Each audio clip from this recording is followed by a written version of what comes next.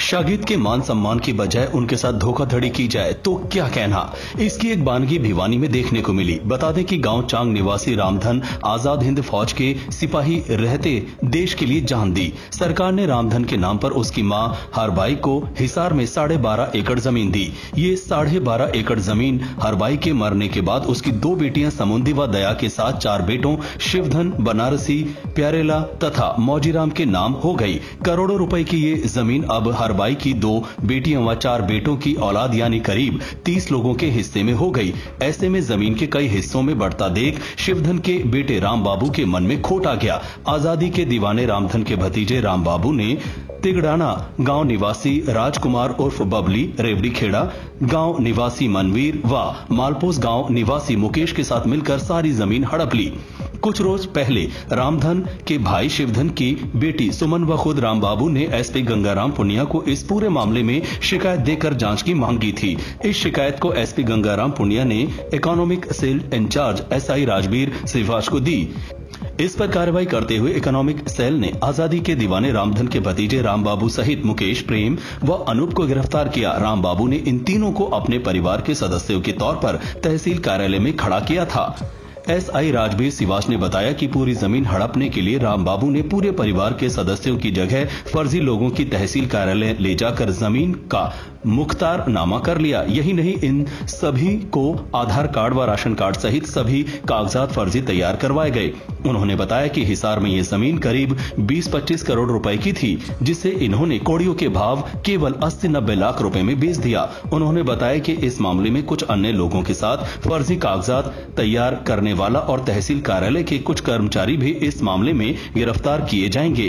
हिसार में अलॉट। इस ज़मीन की असल मालिक हरवाई थी, जिसके छह संतानें थी, दो लड़कियाँ और चार लड़के जो कि दो लड़कियाँ उनकी समुद्री और दया अभी ज़िंदा हैं। दया उड़ीसा के अंदर रहती है और समुद्री रिवाड़ी के। इनमें से शिव धन का एक लड़का राम अपने साथियों, मुकेश वासी मालपोस, मनदीप, मनबीर वासी रिवाड़ी खेड़ा और राजकुमार उर्फ़ बबली गिड़ाना इनके साथ मिलकर इन्होंने फर्जी अपने चाचा तावों के, जिनके नाम ये ज़मीन मनदीप, कैलाश, संजय वगैरह के नाम से फर्जी मुख्तारनामे तैयार करवा और इस संबंध में जब राम बाबू की बहन सुमन व कृष्णा ने एसपी साहब को एक दरखास्त पेश जिसकी इंक्वायरी हमने की और इंक्वायरी करके ये एफआईआर दर्ज। इसके अंदर हमने आज चार आदमियों को गिरफ़्तार किया है, जिसमें से एक असल मुकेश वासी मालपोस और जो आदमी फर्जी बना था गाँव धनाना का, प्रेम कुमार है। दूसरा राम बाबू, तीसरा एक लड़का जिसने शिनाख्त की थी इनकी, ये लड़का रिवाड़ी खेड़ा का है। अनूप नाम इनको हमने चार आदमियों को गिरफ़्तार कर लिया है। इसके अंदर बहुत ही बड़ा घोटाला है। सबकी फर्जी आईडी तैयार की गई है और हम जल्द से जल्द फर्जी आईडी तैयार करने वाले को भी गिरफ़्तार करेंगे और जो इनके मेन मुलजिम मनदीप, जिसने अपने साड़े और दो साथियों को अन्य फर्जी बनाकर और मुख्तारनामा तैयार किया है, उनको हम बहुत जल्द से जल्द गिरफ़्तार करेंगे। इसमें हो सकता है तहसील ऑफ़िस के भी कई कर्मचारी इसमें शामिल हैं। हम उनका भी भांडा फोड़ करें। इस ज़मीन की कीमत लगभग 20-25 करोड़ रुपए ज़मीन की। इन्होंने ज़मीन ये सारी लगभग 70-80 लाख रुपए के अंदर बिक्री की। भिवानी से अमन शर्मा। एक बार फिर बजी जींद में चुनाव की रणभेरी।